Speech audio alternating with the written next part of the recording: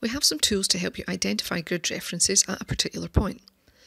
Open Drawing Tools, select Place Grid Reference, then select your spot on the map. The British National Grid Reference at that point will be placed with a marker. The accuracy of your grid reference will depend on the scale of your map. Let's look at York to show you. When I'm zoomed out, I'm given a four figure grid reference. If I zoom in a little more, I get a six figure reference, zoom in again, an eight figure reference, and so on. You can print your maps with these grid reference markers on. If you use the Place Grid Reference tool outside the UK, the tool will place the decimal, latitude and longitude of your point. Now let's open Map Information.